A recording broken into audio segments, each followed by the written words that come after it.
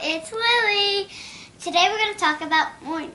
In the morning, it's so cloudy, but sometimes it gets a little sunny. Yeah. And every morning I come downstairs and I watch TV. But then when I'm when I'm done watching TV, I go in the kitchen and eat breakfast. Yes, I do. I go in the kitchen. That's what mornings are supposed to be. My I go see my doggy in the crate. And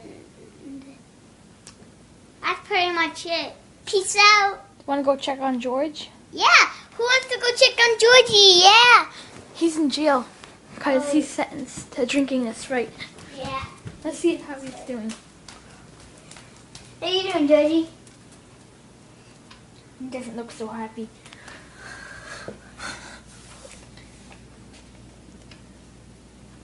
Yes, you're guilty. Guilty. Don't drink Sprite. Yes, he's very guilty. Peace out.